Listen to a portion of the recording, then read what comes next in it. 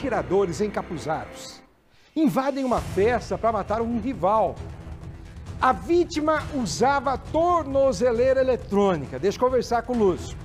Ô Lúcio, primeiro, veja se eu não disse besteira com relação à tornozeleira eletrônica, porque esta é a informação preliminar que eu tenho. Como eu sei Sim. que você foi atrás de mais informações, ponto um. Sim. Ponto dois. Se o cara usava tornozeleira eletrônica, é porque boa bisca não é. Ah, já tinha uma vida pregressa boa, né, Paulo? Já foi preso e estava lá sob benefício da, da progressão de pena e usava a tornozeleira eletrônica. Imagine você, o cara comemorando o aniversário.